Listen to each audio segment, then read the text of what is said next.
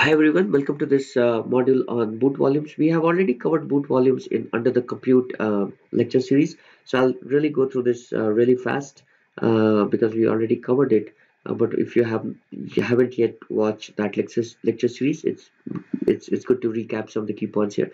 So compute instance is launched using operating system image stored on the remote boot volume. Right? We talked about this earlier.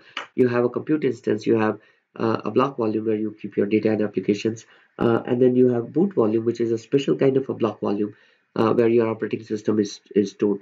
Uh, and uh, uh, the boot volume is created automatically and associated with an instance until you terminate the instance. Um, and all the characteristics of block volume carry over to the boot volume. Um, if you want to launch another instance with a boot volume first what you have to do is create a custom image of your boot volume and then using the custom image you can launch uh, the new new uh, instance right? Uh, alternatively you can launch a new instance directly from an unattached boot volume if you don't wish to create a custom image right? So those two options are available.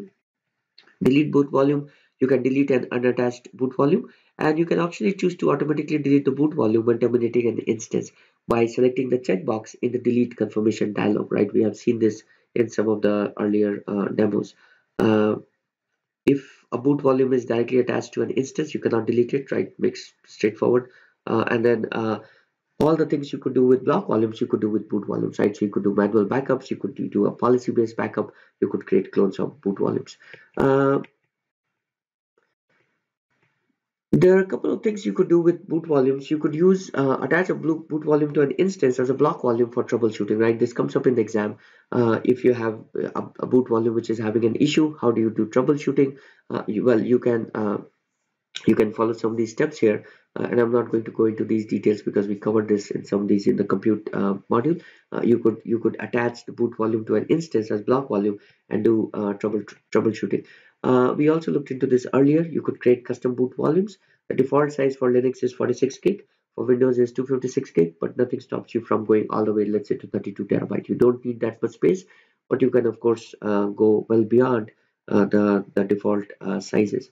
So with that, let me quickly jump to the console and show you the boot volumes in action. We have again looked into these in the, the compute uh, um, section but let's quickly look into this uh, again here. So if I go into my uh, compute uh, section you can see boot volumes here right?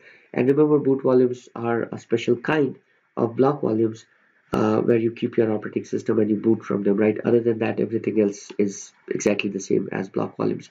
So as you can see here uh, you can assign a backup policy. You can you can create a backup. You could do cloning uh, and uh, and you can of course you know you can terminate the, the you can create a manual backup etc the reason some of these options are grayed out is because these instances are running. So if i find an uh, instance uh, uh, first thing i could do is i could delete an instance and i could decide to keep the the the boot volume. So if i come here i can say terminate and it says permanently delete the attached boot volume right? I don't want to do that so let me just uh, terminate this instance and keep uh, the boot volume right? And I want to show you a couple of things we could do with that. So if I go here into the boot volume probably would take a few seconds. But you would see that this boot volume would be now uh, available right? And I could uh, I could come and create an instance out of that boot volume. And right here I could do things like manual backups. So if I want to do a backup of the boot volume I could just cr create a backup here. And there there you go. I could create a backup of the boot volume. I similarly I could do clone. Uh, looks like this boot volume is now available because the instance is terminated. I could actually create an instance out of this boot volume right? Uh, and uh, again we have covered this in the compute section. Uh, but but I could use the boot volume to spin up a new instance. So hopefully this gives you a quick uh, overview of the boot volumes and uh, how they behave.